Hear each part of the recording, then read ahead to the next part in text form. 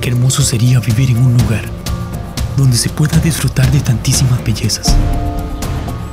Poder conocer desde adentro el corazón de la madre naturaleza.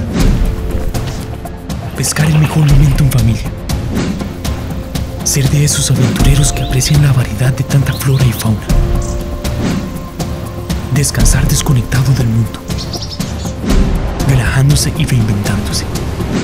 Vivir donde podamos disfrutar de cosechas de trabajo, olor y sabor a ánimo positivo. Ser esa gente que quiere interiorizar, caminar y grabar en su mente el regalo de Dios. O ser de esos locos que quieren llegar para llegar lo más lejos, conociendo lo más precioso del triunfo. ¿Y por qué no?